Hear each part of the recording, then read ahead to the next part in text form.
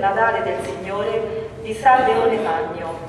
Oggi, carissimi, è nato il nostro Salvatore. Rallegriamoci. Non è bene che ci sia tristezza nel giorno in cui si nasce alla vita. La vita ha distrutto il timore della morte. La vita ci presenta la gioiosa promessa dell'eternità. Nessuno è escluso dal partecipare a questa gioia. Il motivo di gioire è infatti unico per tutti. Il nostro Signore, colui che distrugge il peccato e la morte, è venuto per liberare tutti gli uomini, senza eccezione, non avendo trovato un solo uomo libero dal peccato. E se il santo può esultare perché si avvicina alla ricompensa, il peccatore può gioire perché è invitato al perdono. Anche tu, pagano, fatti coraggio, perché anche tu sei chiamato alla vita. Dio aveva un disegno profondo, impescrutabile, che il Figlio di Dio nel tempo prefissato, nella pienezza dei tempi, assumesse la natura del genere umano per riconciliarla a sé, al suo Creatore, e affinché l'autore della morte, cioè il diavolo, fosse sconfitto mediante la morte quella morte con la quale in precedenza aveva dominato sull'uomo.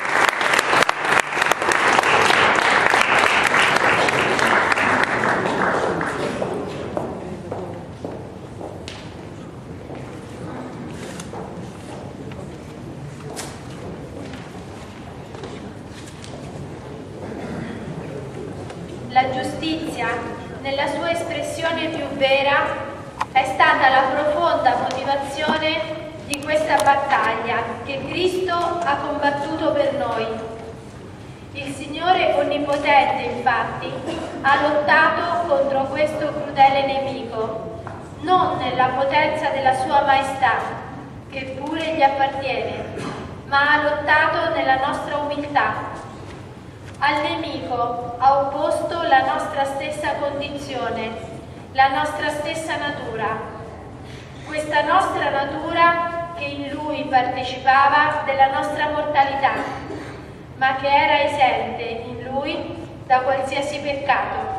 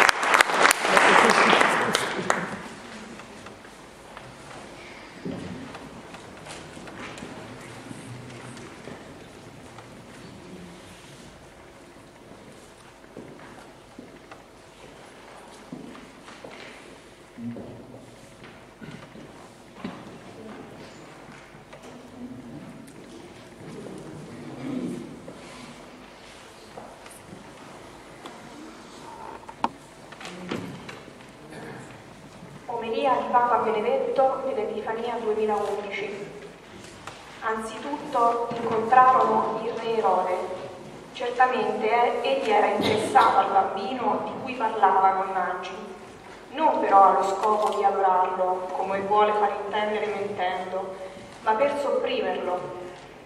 Erode è un uomo di potere che nell'altro riesce a vedere solo un rivale da combattere. In fondo, se riflettiamo bene, anche Dio gli sembra un rivale, anzi, un rivale particolarmente pericoloso che vorrebbe privare gli uomini del loro spazio vitale, della loro autonomia, del loro potere. Un rivale che indica la strada da percorrere nella vita e impedisce così di fare tutto ciò che si vuole. Erode ascolta dai suoi esperti delle sacre scritture le parole del profeta Michea, ma il suo unico pensiero è il trono. Allora Dio stesso deve essere offuscato e le persone devono ridursi ad essere semplici pedine da muovere nella grande scacchiera del potere. Erode è un personaggio che non ci è simpatico e che istintivamente giudichiamo in modo negativo per la sua brutalità, ma dovremmo chiederci Forse c'è qualcosa di Erode anche in noi? Forse anche noi a volte vediamo Dio come una sorta di rivale? Forse anche noi siamo ciechi davanti ai suoi segni, sordi alle sue parole, perché pensiamo che ponga limiti alla nostra vita e non ci permetta di disporre dell'esistenza al nostro piacimento? Cari fratelli e sorelle, quando vediamo Dio in questo modo, finiamo per sentirci insoddisfatti e scontenti perché non ci lasciamo guidare da colui che sta a fondamento di tutte le cose. Dobbiamo togliere dalla nostra mente e dal nostro cuore l'idea della rivalità, l'idea che dare spazio a Dio sia un limite per noi stessi. Dobbiamo aprirci alla certezza che Dio è l'amore onnipotente, che nulla toglie, non minaccia, anzi è l'unico capace di offrirci la possibilità di vivere in pienezza provare la vera gioia.